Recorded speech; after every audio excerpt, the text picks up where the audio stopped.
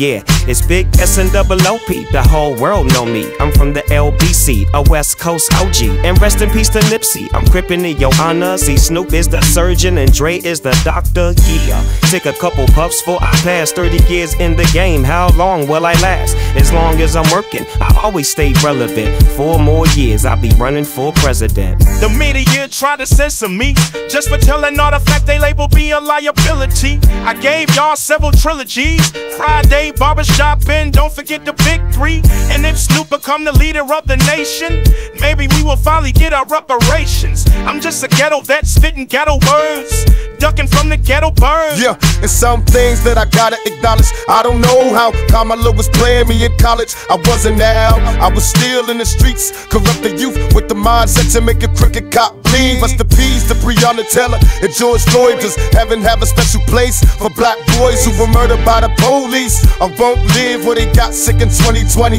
with COVID. You probably wonder how the hell I know. I wrote this a long time ago, back in 94. Thanks for watching this video. Make sure you like, comment, subscribe, and hit the notification bell. New videos drop Mondays, Wednesdays, and Fridays at 4 p.m. Eastern. And we do independent artist music reviews Monday through Thursdays at 8 p.m. Eastern. And if you like this beat, click below to download it.